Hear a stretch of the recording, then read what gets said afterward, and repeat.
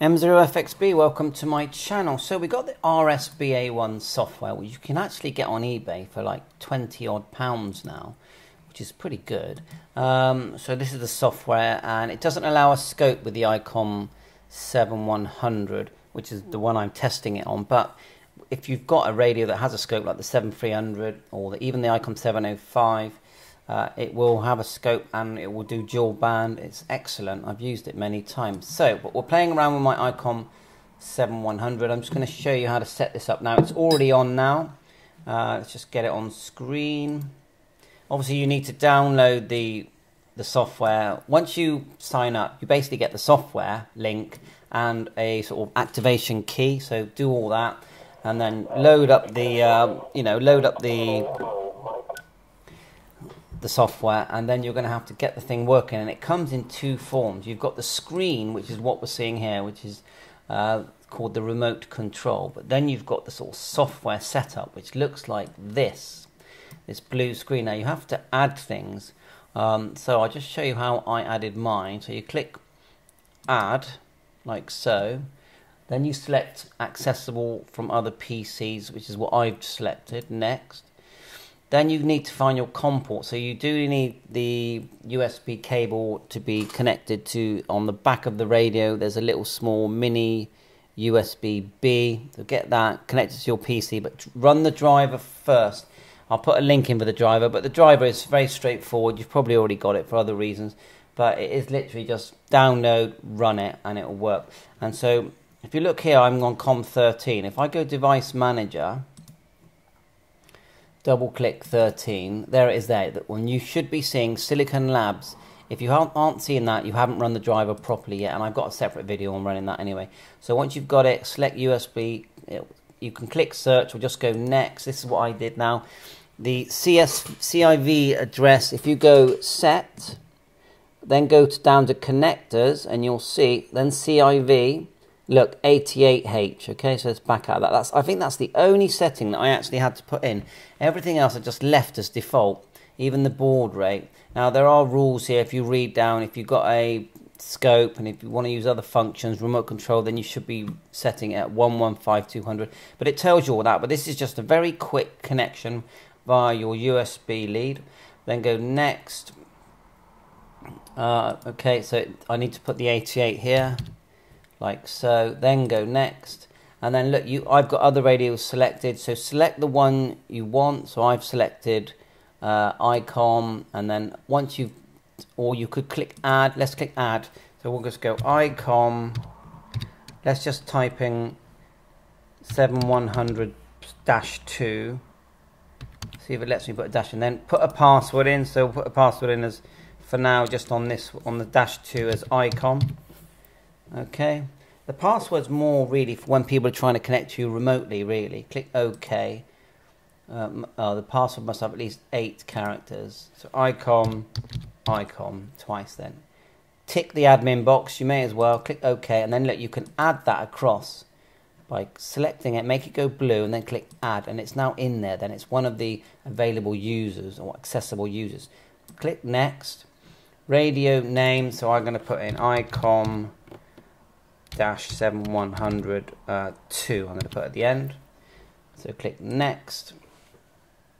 And then finish. And now there's the radio I'm using now but if I wanted to I could use you know uh, the other radio now the, the whole the reason you have got the option here for server is I can now use this this computer as long as I leave it turned on and connected to my radio and I'll do that bit in a separate video I can now go to my laptop and which I will do, um, select the server and get my radio um, to connect my laptop to connect to the 7100 wire wirelessly because the computer is, is using the Wi-Fi.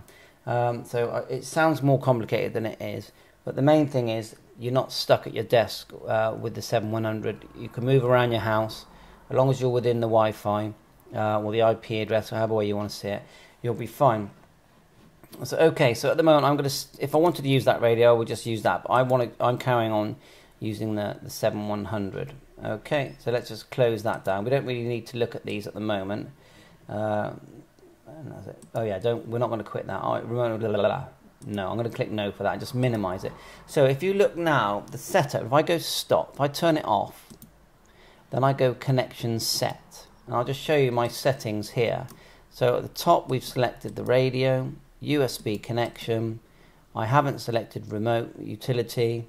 Uh, there's the COM13 that we found in Device Manager. There's the baud rate. There's the 88. I've only ticked the bottom box here. Click OK. And so when we turn it on, you know it's worked because when you turn it on, it will all appear on screen. So hopefully that will happen because I've only just set it up. There you go. So now we can turn up the volume. We can change modes. Frequency, just click on the one you want and then right click this. Like so. We can go to memories and we can save memories here. Haven't really done that. Let's turn it down. RF gain, RF power is all here. CW, noise blanker, noise reduction. I think if you double click, there is a way to get the more the extra settings. I can't remember actually. Well, you know where you can change the uh, the selection. I've literally just done this, but you can hear it working. Um, let's have a go. Set. There's some settings there. Mic gain. Comp. Just looking up and down here. Preamp. Attenuator. You get the idea. So you get a colour screen. I'm still on the 7100. Now if I had a tuner connected, I could tune, but there's no tuner connected at the moment. And you need a tuner that's connected via the icon cable, I would say. Maybe, maybe not, probably. Like an even TX. Um, now you can set the audio to come from a different place, but I haven't done that. I've just told it to stay as it is. There's so much more to this. Look, voice, memory, CW keyer. That's your set mode. Tells you the settings that you've done. You can exit. Filters. See that changing? Let's click filters on the actual screen. AGC there's filters. You can change that. I'm just clicking everything really notch and you've got bands uh, it will do 77 now let's let's get it into DR mode because I haven't tried that actually. So let's just hit DR and see if it. Yeah, look, it does go to DV. I don't think we're getting the DV menu. You see that the way it's switched. There you go. So it has gone into DV. Yeah, I wouldn't say it stayed there, so not really sure about that. I'll have to learn more about that. Let's try it one more time. DR. It will do it on the 705. Maybe if I try VFO mode. So we'll go to VFO. Uh, tap this. Menu VFO mode. Right, we're in VFO mode. Now, yeah, VFO there. And then we'll go DR.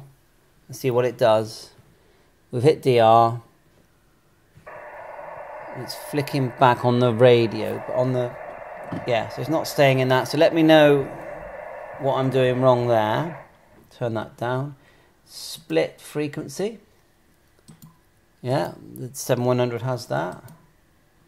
Duplex plus and minus. A and B. A to B, sorry. A, B. XFCs when you're on a repeater. Uh, and so on and so on. You get the idea. You can control the radio. And this is just me a USB cable connection direct to the radio and then how to set it up. So the next thing I'm going to try and do is access it from my uh, from my laptop and that'll be a separate video. So 7.3, thanks for watching my channel. Please subscribe if you find these videos helpful. All the best. Catch you on air.